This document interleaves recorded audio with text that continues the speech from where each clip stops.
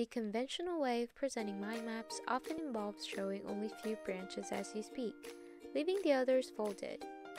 XMind aims to bring efficiency in both work and life, presents you the pitch mode.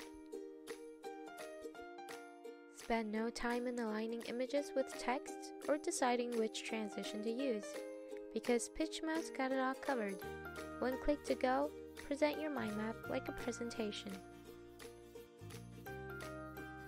Building up a comprehensive framework for your presentation goes without saying is the most important step to an excellent pitch.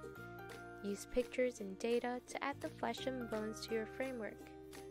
Condense key information to short phrases or use the note feature to help the audience grasp on.